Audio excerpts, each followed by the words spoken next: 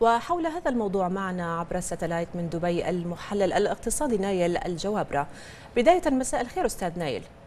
كما تعلم بأن وكالات ائتمانية عالمية خفضت التصنيف الائتماني لدولة قطر وذلك على خلفية قرار عدد من الدول العربية قطع علاقاته الدبلوماسية والتجارية مع الدوحة. كما من المقرر أن تصدر وكالة ستاندرد أند بورز العالمية تصنيفها التالي لقطر في الخامس والعشرين من أغسطس الحالي في توقعاتك إلى أين يتجه الاقتصاد في الدوحة؟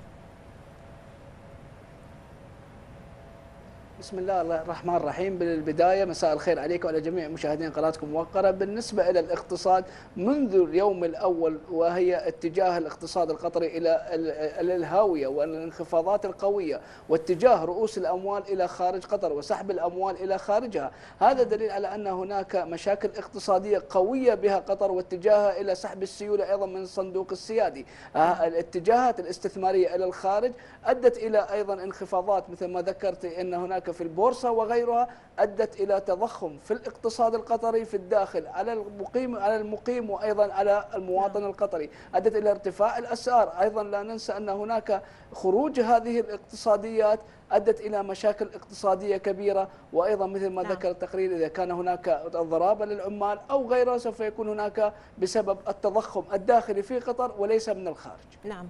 نعم أستاذ نايل السفير القطري في ألمانيا صرح بأن أزمة بلاده مع دول عربية وخليجية سيتجاوز تأثيرها اقتصاديا منطقة الخليج ليمس أي شخص في أي مكان في العالم ما هو تعليقك حول ذلك؟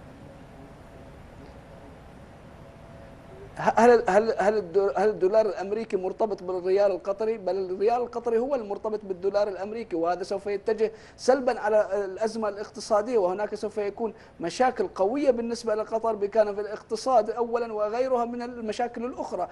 الاقتصاد وخروج الاستثمارات سوف تكون هناك أزمات اقتصادية في داخل قطر وليس من خارجها. ولاحظنا أن هناك بنوك قبل أيام بنوك عالمية قد اشترت قروض أيضا في قطر. وأيضا لا ننسى أن دولة الإمارات والدول الأربعة أيضا اشترت قروض بمبالغ زهية جدا. واتجاه قطر أيضا إلى سحب السيولة من الصندوق السيادي. هذا دليل على أن هناك أزمة مالية وهوي الريال القطري إلى أدنى مستوياته ولا ننسى ذلك بهوي البورصة أيضا.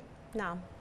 نعم من دبي المحلل الاقتصادي نايل الجواب شكرا شكرا جزيلا لك.